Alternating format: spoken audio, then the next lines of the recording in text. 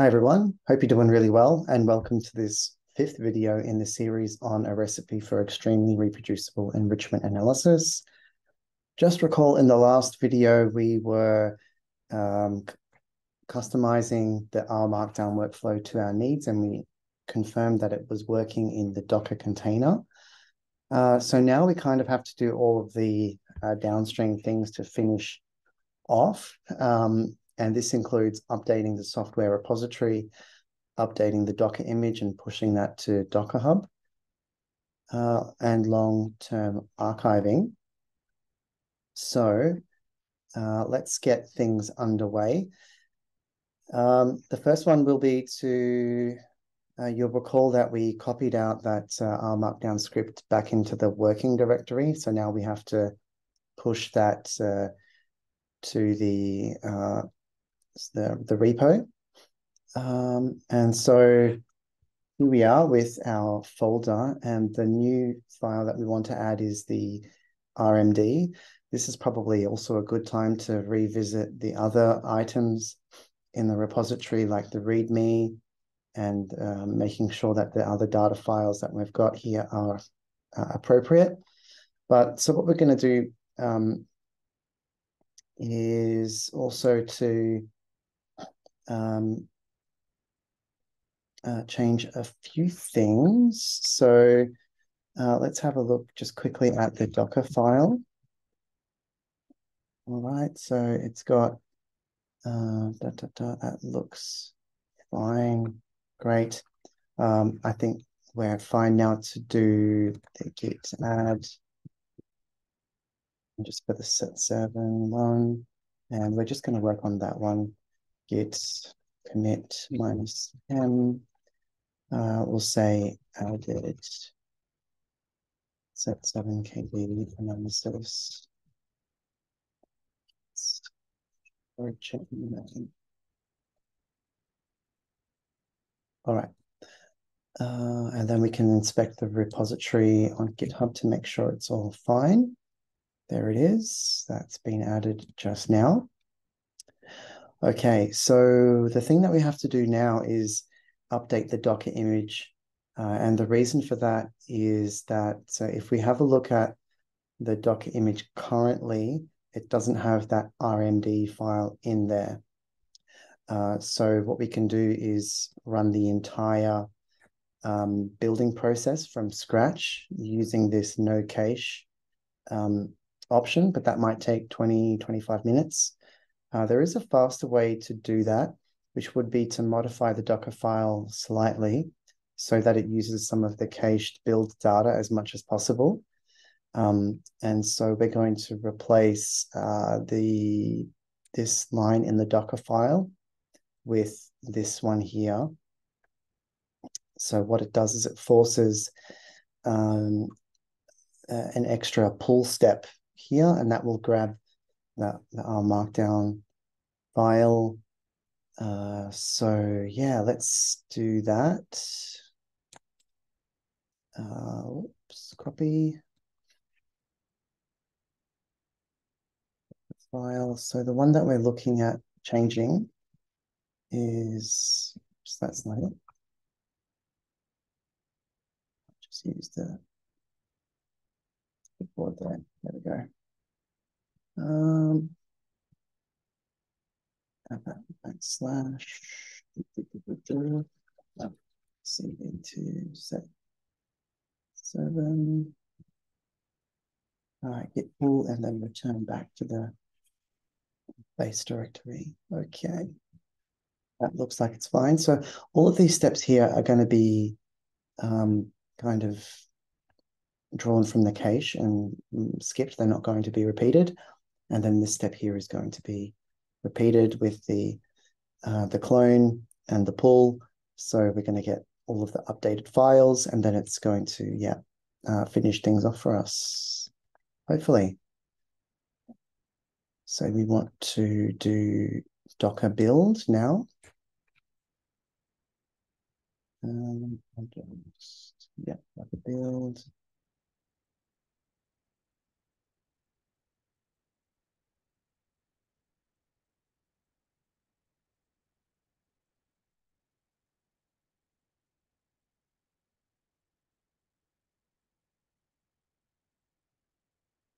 Mm, okay, so it looks, oh, I did the wrong thing there. I used the no cache option. I'll get rid of that. There we go. So now it's jumping straight to the um, that step. I think there was a problem. Well, there always is. Um, 7KD. Typo. Let's try that again. There we go, jumping straight into the clone and boom, that's already done. So that's quite quick.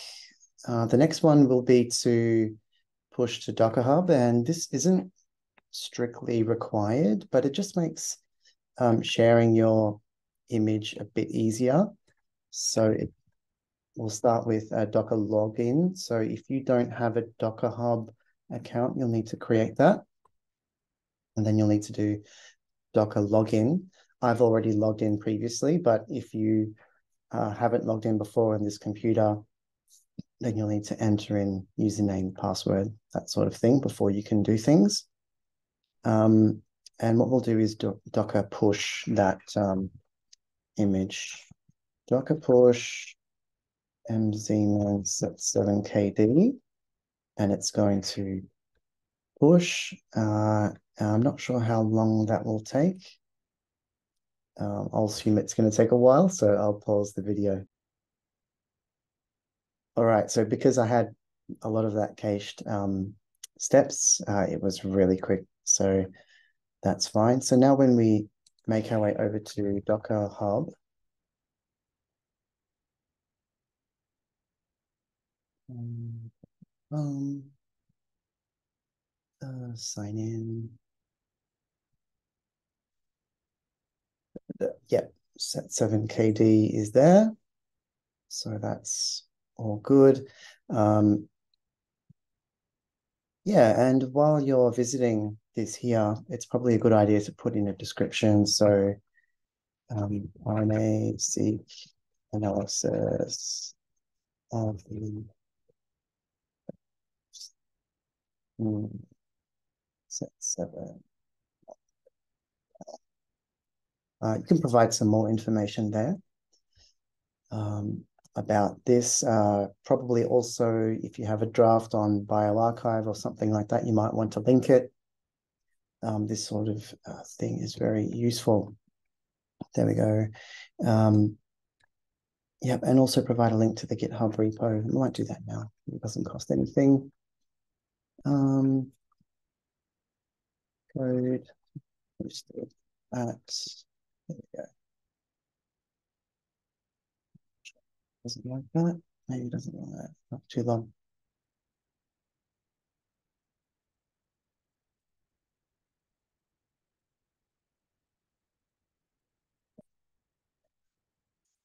Boom. Uh, yeah, and they can provide more information and metadata. Obviously, that's great. Um, all right, so if you wanted to replicate this, um, it's relatively straightforward and I've covered it already in the first video, step five. Um, so you can go and look at that. The next step here is to ensure long-term archiving. Uh, and the reason for this is that Docker Hub, while it's convenient, it's not a guaranteed data archive. There are other Docker registries. The one I'm thinking of, that's the best one is Biocontainers.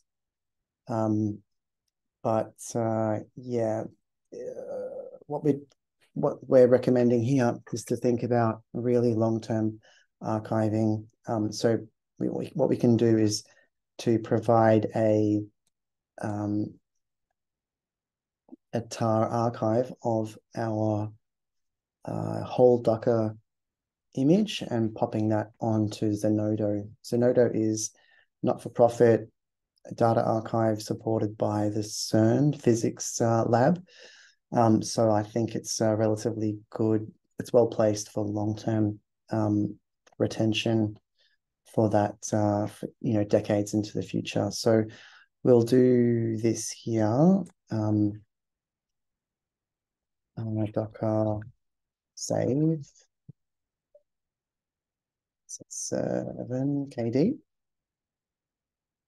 uh, and then pipe to gzip, and then seven KD um, image dot tar dot gz.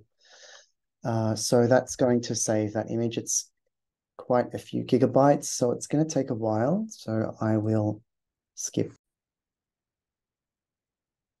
Okay, so that has completed. It took quite a while, um, but now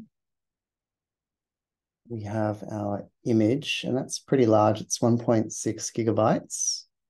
Um, and that there is your whole analysis uh, encapsulated.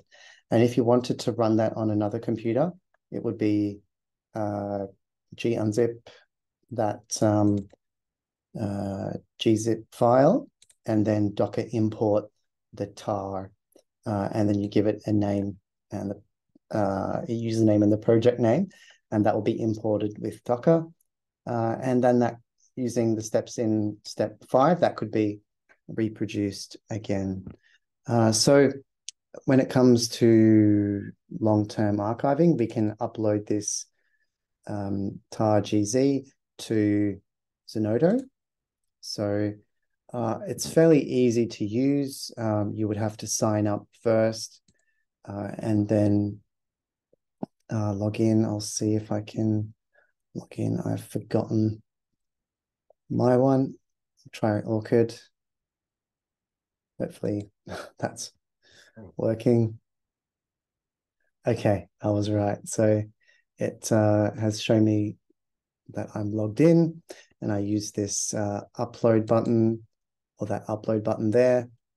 Um, and I would go to new upload uh, and then provide that uh, tar.gz file mm. and provide all the necessary metadata, including links to, you know, Docker Hub or biocontainers, um, your GitHub repository. If you've got a, a preprint on uh, bioRxiv, for example, you would have uh, links to it there uh, and maybe some instructions on how to use that um, tar archive. For example, these uh, instructions here, plus some instructions out of uh, the first part of the protocol.